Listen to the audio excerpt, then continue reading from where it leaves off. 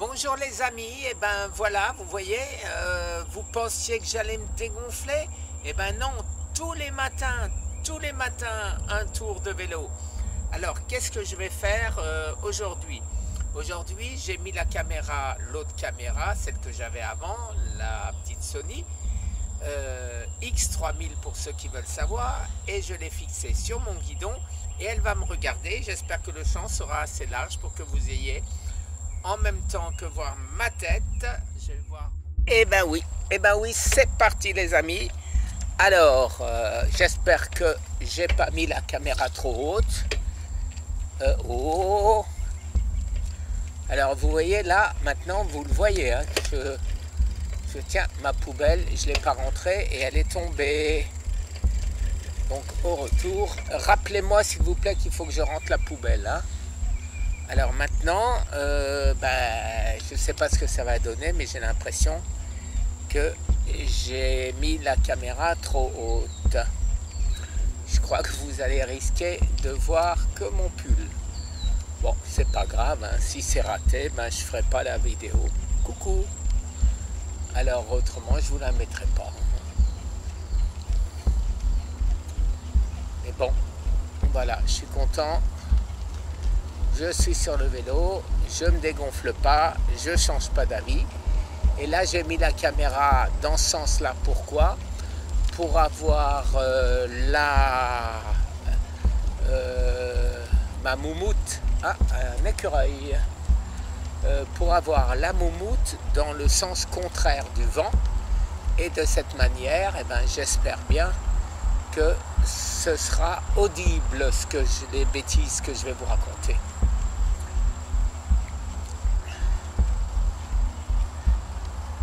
Alors vous savez quoi, je vais pas faire le feignant, je vais m'arrêter et je vais essayer de régler cette caméra.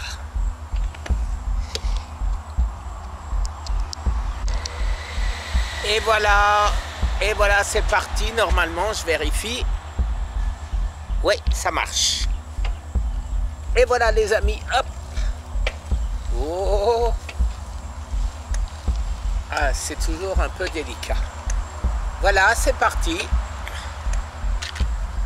C'est parti. Alors, euh, j'ai ah, mon slip euh, molletonné, euh, comme aurait dit Popek, rembourré, ma selle deux fois rembourrée, etc.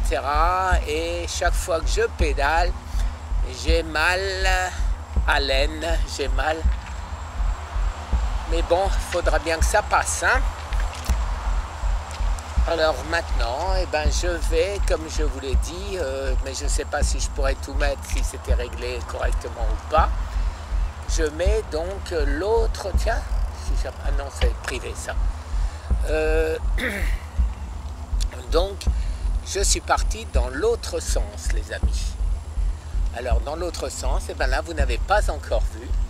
Alors, vous voyez, là aussi, il y a de très jolies maisons. Je vais faire un petit zigzag pour que vous voyez. Pas arriver à le faire, le zigzag. Alors ce matin, je suis beaucoup plus fatigué que hier parce que je sens déjà euh, mes cuisses alors que ça fait pas deux minutes que je suis sur le vélo.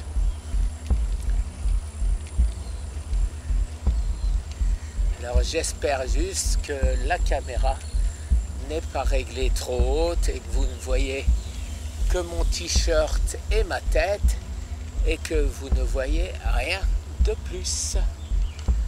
Alors ça, c'est la maison.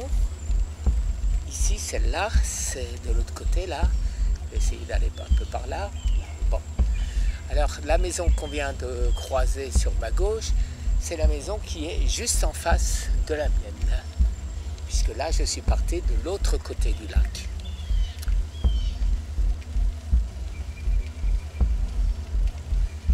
C'est incroyable. Vous avez vu comment tout est bien entretenu. C'est les Américains. Ah, c'est pas la France, hein Le seul qui laisse sa poubelle dehors et qui s'est cassé la gueule, c'est un Français. Ah, quel culot ces Français Alors un autre qui a oublié de rentrer ses poubelles. Parce que vous pouvez voir que tout le monde a rentré ses poubelles. Hein. Tiens, on va passer par là un peu.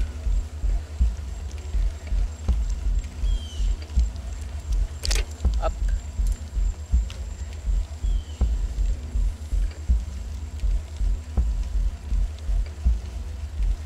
Alors ça c'est aussi typiquement américain.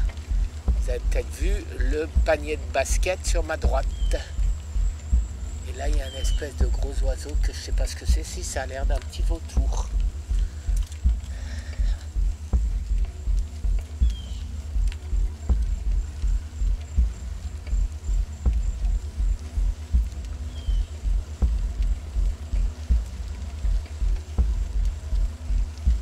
Alors espérons que ça va me faire du bien tout ça. Il n'y a pas de voiture. Et un brûlage de stop à la française.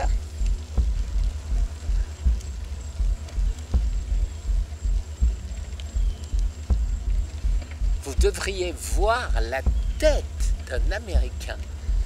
S'il y a un Américain qui avait été à côté de moi, j'aurais pas osé le brûler le feu rouge. Il vous regarde, mais en disant Mais vous êtes un criminel. C'est en quoi ils n'ont pas vraiment tort. Hein?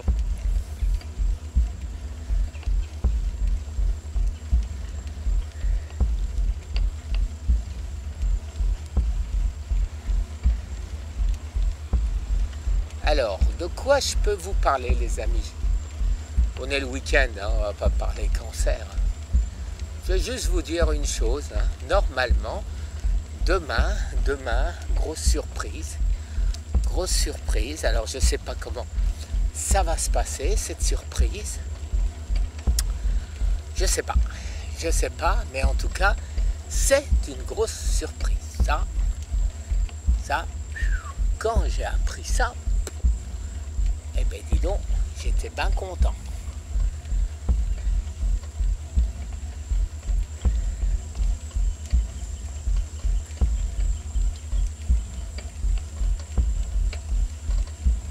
Je suis toujours impressionné, les amis, parce que euh, vous allez, c'est pas du racisme, hein, c'est une simple constatation, hein, évidemment. Hein.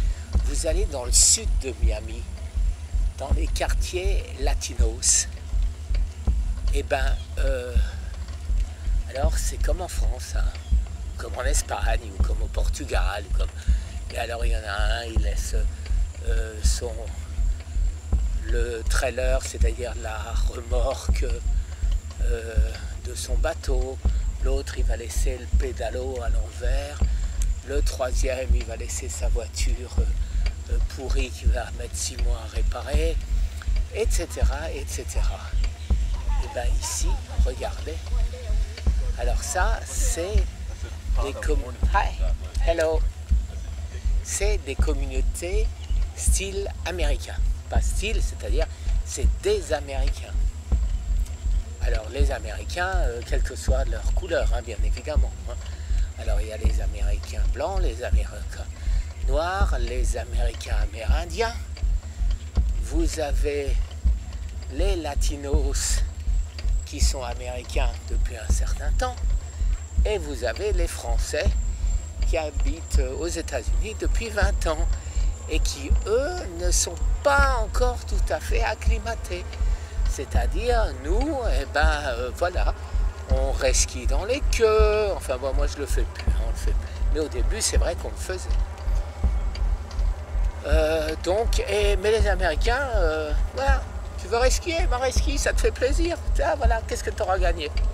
Et il te laisse passer. Il te laisse passer. Et quand tu arrives devant la caissière, la caissière qui t'a vu, elle, elle te laisse pas passer. Alors, poliment, elle ne te dit rien.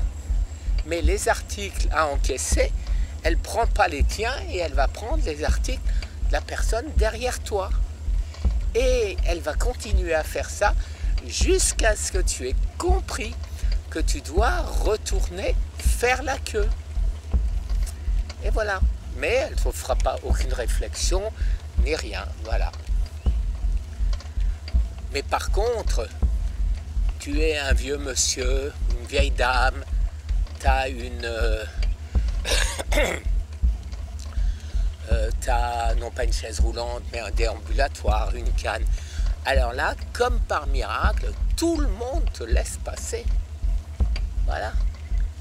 Tu peux pas aller, ou c'est très difficile dans un bus, que les jeunes ne se lèvent pas pour te laisser leur place si le bus est plein.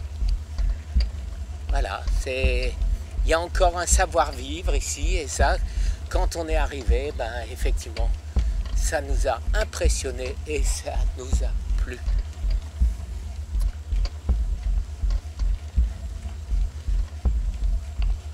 Eh oui. Eh oui, eh oui, les amis. Alors c'est fou quand même, hein, résidence. Alors là, c'est la partie, c'est la seule partie euh, où les parallèles à la rue principale euh, sont longues. Les autres, eh ben, c'est simplement euh, une petite ligne droite, un rond-point, et ça s'arrête là. Et là, il y a trois écureuils. Et là, comme vous êtes dans l'autre sens, j'espère qu'il ne va pas partir. Salut l'écureuil Je ne sais pas si vous l'avez vu. Encore un écureuil. Là, il est devant moi. J'espère qu'il ne va pas s'enfuir. Non, il s'est enfui. je ne vais pas t'attraper. Je ne vais rien te faire. Alors là, un gros oiseau que je ne sais pas ce que c'est.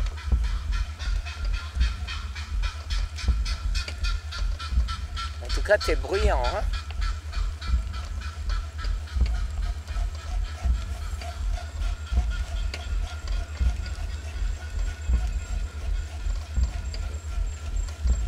Mais bon, le matin tôt, fait pas trop chaud, c'est très agréable. Et surtout, quand, oh, regardez les deux oiseaux là. Hop, derrière moi. Je sais pas si vous les voyez. Oh, ça m'étonnerait. Ils étaient assis comme ça, euh, à côté des fleurs. Et là-bas, il y en a toute une tribu. Incroyable.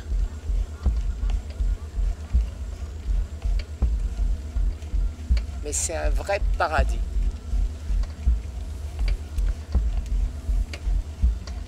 Alors une maison dans un paradis comme ça, coûte beaucoup moins cher qu'un studio à Paris.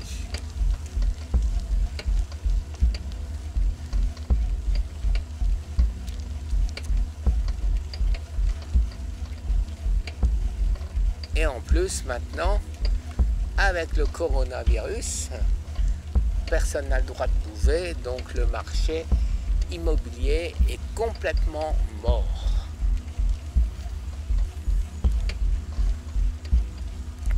Comme je voulais vendre des biens immobiliers suite à ce qui m'était arrivé, j'avais mis en vente et j'ai des propositions. Oh, allez, je vais exagérer. Même pas, même pas, non, j'exagère pas. 15-20% en dessous du prix que j'ai payé, tenez-vous bien, il y a 20 ans. Voilà. Ça aussi, c'est les Américains. Nous, en France, on sait qu'un truc qui valait tant, eh ben, il faut, vraiment beaucoup pour que les gens baissent leur prix. Aux États-Unis, eh ben, quand il n'y a personne qui, veut quelque chose, eh ben, les prix baissent. Les prix baissent de la même manière qu'une voiture à l'Argus. Voilà, le cendrier est plein, ça c'est la plaisanterie ici, on change la voiture. Eh ben non, salut monsieur l'écureuil. Il est parti là-bas en sautant. Et donc on change la voiture et ici pareil. Les gens sont euh, déplacés parce que voilà, euh, euh, leur grosse boîte décide qu'ils doivent aller travailler à New York et ils sont à Miami. Et eh ben donc il faut vendre la maison de Miami. Et eh ben où la maison elle a doublé et ils font une bonne affaire, ou elle est divisée par deux et ils font une très mauvaise affaire. Mais dans tous les cas, ils vendent. C'est pas important. C'est pas important. Nous, avec notre esprit terrien, eh ben, jamais on va vendre. On va attendre, on va essayer de louer, on va essayer de, de refinancer, on va. Voilà. Mais on ne veut pas perdre les Américains. Aucune importance. Et ils te disent, it's only money. Voilà.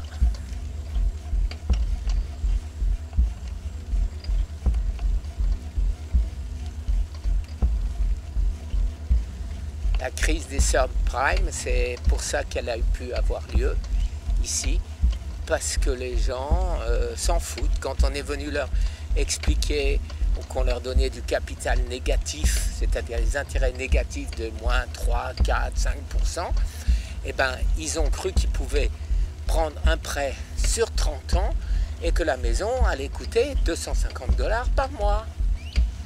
Et quand les intérêts négatifs sont repassés à positifs, qu'en plus il fallait rattraper les deux premières années, eh ben, ils sont retrouvés de, 1000, de 250 dollars à 1250 dollars.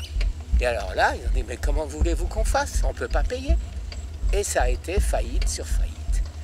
Et donc ça, c'est un truc qui n'aurait jamais pu avoir lieu euh, en France, parce que les notaires auraient prévenu, et parce que les banques n'auraient pas voulu. Mais les banques ici ont des courtiers. Les courtiers, ils montaient des dossiers bidons en disant Ah oui, ils gagnent 5000 dollars par mois. Oui, oui, alors vous vous rendez compte, les 1250, ce ne sera pas un problème dans deux ans. Et la banque donnait les prêts. Et en réalité, ce qui se passait, c'est que le type, par exemple, qui travaillait à vider les poubelles euh, chez l'équivalent de Carrefour, eh ben, il devenait propriétaire d'une compagnie qui vidait les poubelles chez Carrefour avec 3000 employés, etc. etc. 3000, j'exagère, 30, hein, allez. Et voilà comment les surprimes, c'est arrivé. Alors ça vous intéresse peut-être pas.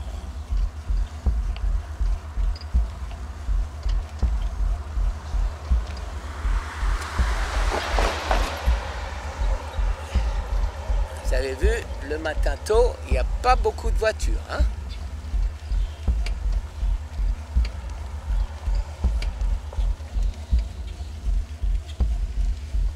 Un caniche géant. Good morning.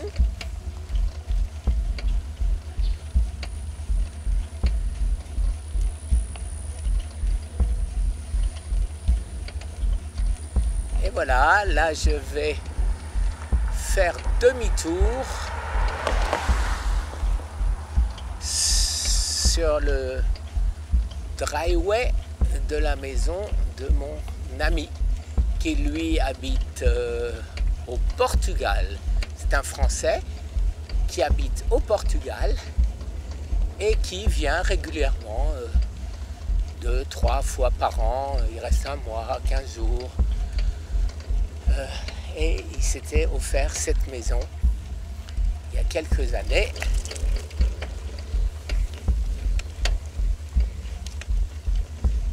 Ah, c'est dur.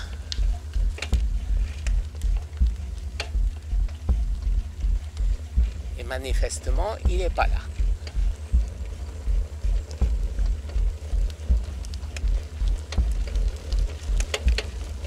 Et me voilà reparti. Quand on est arrivé, le type qui m'a vendu sa maison avait deux maisons et il en vendait l'une ou l'autre. Et bon, moi, euh, j'ai pris celle qui pour moi avait un plus beau terrain, même si la maison était beaucoup plus petite et surtout beaucoup moins chère. Et donc, euh, je me suis retrouvé avec la maison que j'ai. Maison devant moi, allez, je vais rentrer sur son driveway. Je ne sais pas s'il est là. Voilà. Je vais sur son driveway. Qu'est-ce qu'il a marqué là? Je ne sais pas. Ah, voilà. C'était ça, sa maison.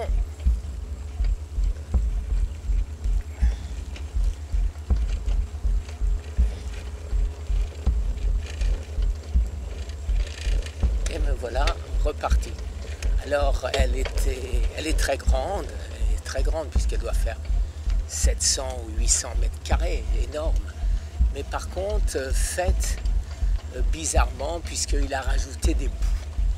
Il a rajouté des bouts à sa maison et allez, hop, je te construis une autre aile, une autre aile. Alors, ce qui fait que la maison n'a pas vraiment une logique. Beaucoup de distribution de place perdue donc. Voilà. Ah bah, ça va être vachement intéressant hein, ce que je vous raconte. Mais bon, moi ça me dérange pas. Hein. Si vous voulez pas écouter, vous écoutez pas. Hein. Je pourrais toujours vous mettre euh, de la musique à la place de mes paroles. Si c'est pas intéressant. Euh, vous me le direz, vous me le direz, mais de toute façon je sais que c'est pas intéressant puis en plus, ce qui est énervant, c'est que vous ne me répondez même pas. Ah, il commence à faire chaud, hein, les amis.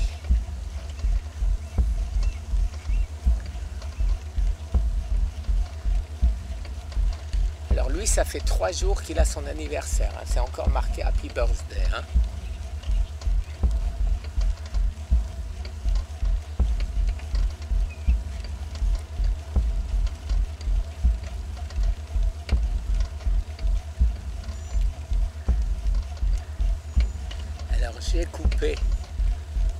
Sonnerie du téléphone de manière à ce que je ne sois pas tenté de répondre si on m'appelle.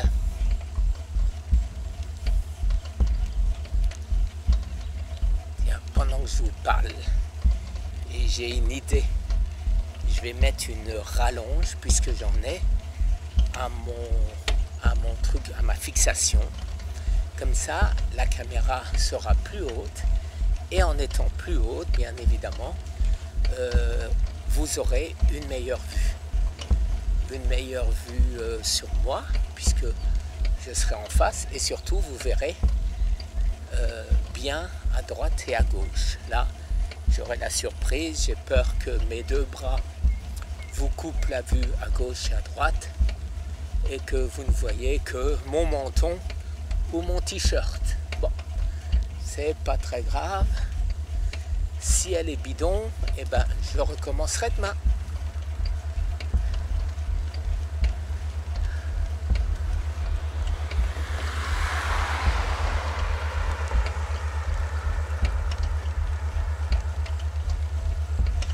Alors, euh, paraît-il, alors on ne sait pas si c'est vrai ou pas, hein, puisque il y a tellement de désinformations là-dessus, il semblerait que le coronavirus redémarre en Floride.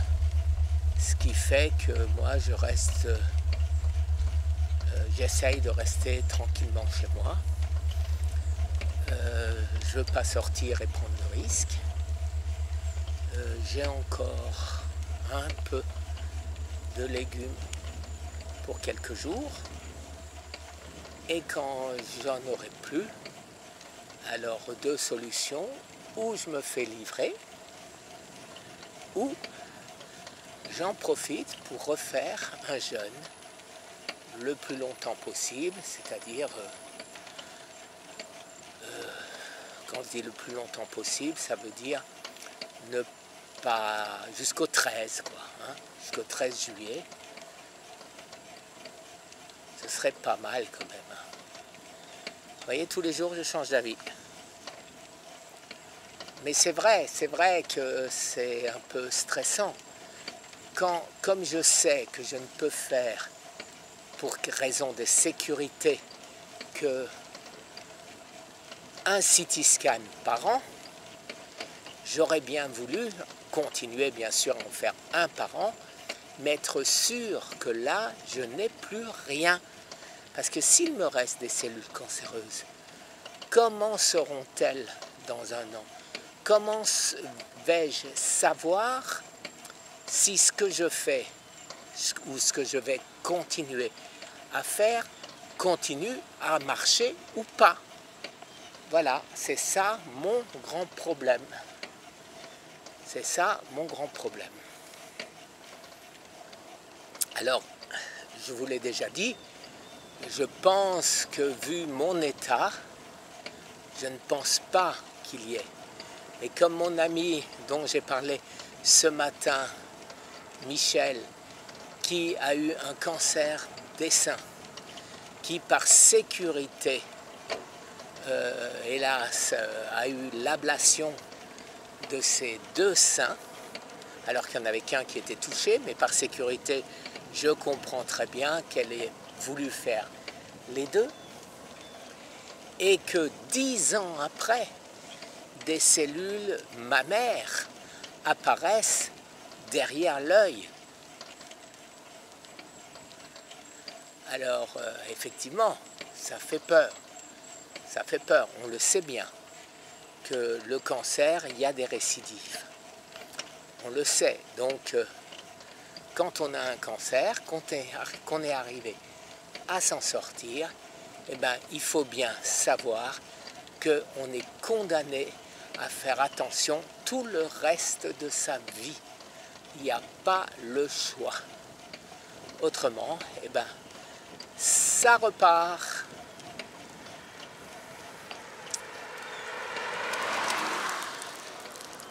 Alors la solution, eh ben, c'est Scott.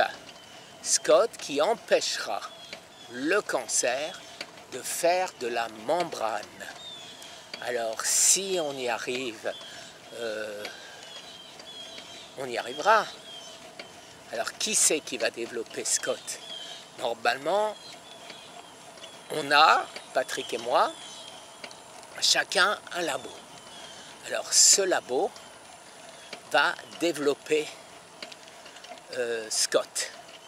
Alors euh, c'est au niveau européen en ce qui concerne euh, le laboratoire de Patrick et c'est au niveau français, Lille, une, université à Lille, une université à Paris, un laboratoire de recherche à Paris et une université et laboratoire au Maroc qui vont faire les souris.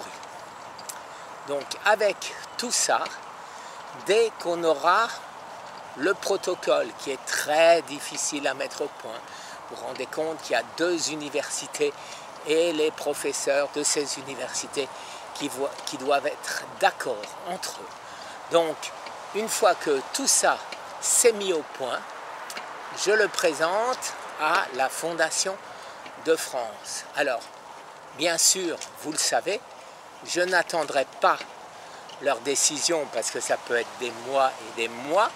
On l'a vu, on en a la preuve, puisque Huit mois après, ils n'ont toujours rien fait. Alors, donc, c'est pas grave. Je me débrouillerai, les amis. Je vous demanderai peut-être euh, à tous 5 dollars par-ci, 5 dollars par-là. Et comme nous sommes aujourd'hui 26 000 et que j'espère bien que nous serons 30 000, 40 000 d'ici là, eh bien, euh, ça fera les sous pour lancer la recherche. Et la différence, comme je l'ai toujours dit, je la mettrai. Je la mettrai.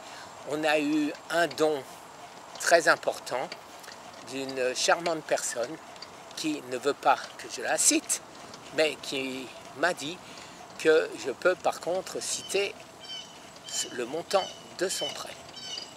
Hi. Le montant de son don, je veux dire. Alors, euh, c'est 12 euh, 000 dollars qu'elle nous a donné.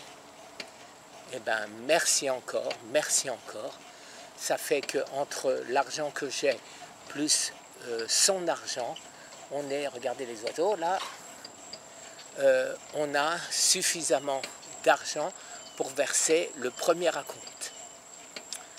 Alors, bien sûr, dès que, dès que on saura, dès qu'on aura le protocole, je le soumets à la Fondation de France. Je leur demande, alors, tu payes, tu payes pas Et s'ils commencent à me dire, il faut ci, il faut ça, il dit, ok, bon, d'accord. J'ai compris, merci. Et je me débrouillerai sans eux, les amis. Voilà. Et me voilà rentré. Oh, je suis fatigué. Ouh. Alors. Ouh, les fesses. Alors maintenant, rigolez pas, je vais essayer de lever la jambe. Sans me casser la figure. Et j'y suis arrivé. Eh ben, dites donc. Eh ben voilà, eh ben je suis arrivé, les amis. Je vais donc aller ranger mon vélo et euh, aller prendre une petite douche. Hein, parce que j'ai transpiré. A tout à l'heure, les amis. Très bonne journée. Au revoir.